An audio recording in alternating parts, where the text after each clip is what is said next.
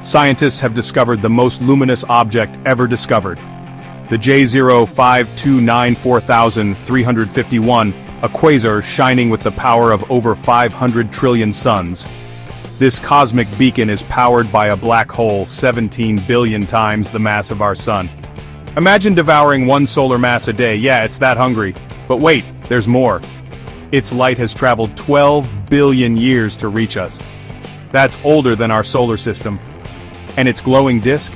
A colossal 7 light-years across 15,000 times the distance from the Sun to Neptune. Once mistaken for a nearby star, we now know it's a quasar, a relic from the early universe.